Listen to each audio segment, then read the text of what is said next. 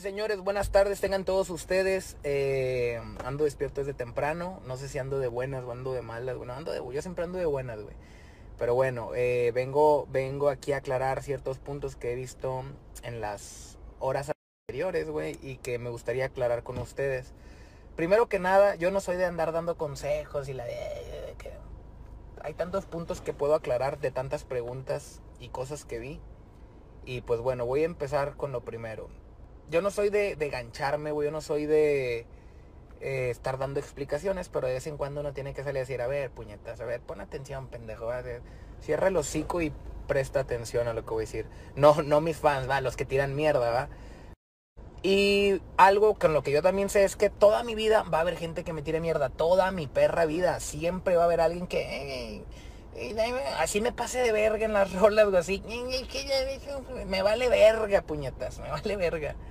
Una disculpa, me entró un llamadón. Para que sepan, este mes es de locos. ¿va? Este mes van a ocurrir un chingo de cosas que no tengo necesidad de explicar qué, que muchos ya saben, lo huelen, pero bueno, daban llamadas. Eh, retomando el tema, es tú que quieres ser exitoso, que quieres ser famoso, prepárate, ¿va? En este medio, la fama viene acompañada de eso, de la gente que tira mierda. Hoy en día todos son libres de opinar, güey. Como que eso les quita cierto estrés a los pinches infelices que están detrás del celular, güey. Y es parte del show. No pierdas la cabeza, güey. Normal. Eh, a mí de repente me extraña, güey, que no me estén criticando, güey. En un principio me criticaban un vergo y no sé qué pasó, güey. No sé si fueron canciones que hice que se dedicaron o que tanta gente a su alrededor, al menos en México, que dijo, ah, espérate, no, como que este puto, pues, como que lo queríamos apagar a críticas, pero el puto ahí siguió, siguió y pues ya se fue. Y no sé, y al día de hoy salió lo del taller de composición y salieron dos, tres changuitos de su escondite con comentarios como... Con comentarios como... No, el rap no se aprende en un curso. El rap es tu estilo de vida 24. Sí, puñetas. A ver, este, no vengo a decirte cómo tienes que ser, la actitud que debes de traer. Mucha gente dirá que yo no soy rapero y se vale, güey. Ok, no soy rapero, pero me considero, yo me la creo. Porque eso es lo, lo primero, va, que tú te la creas. Yo creo que soy alguien que hace canciones buenas, güey. Y muchas se han pegado. Los años que llevo me respaldan. El historial me respalda.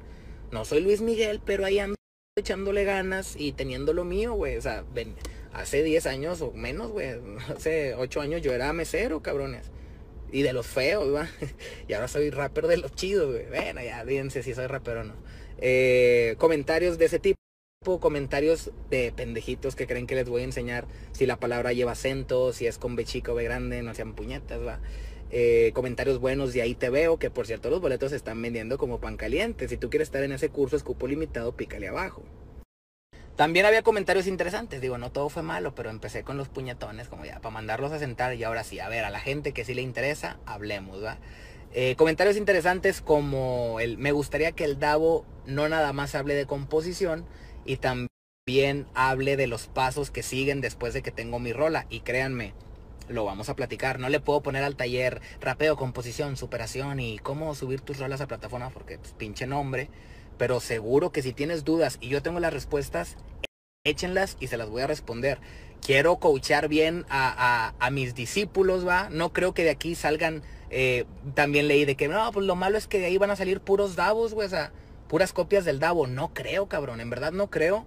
Ojalá y no, porque les digo, mis técnicas no, no significa que les voy a regalar una parte de mi cerebro y van a... No, güey. Recuerden, mis técnicas, lo que a mí me ha servido. Si tú quieres estar en este taller, pícale aquí abajo, ve y consigue tu boleto que es cupo limitado.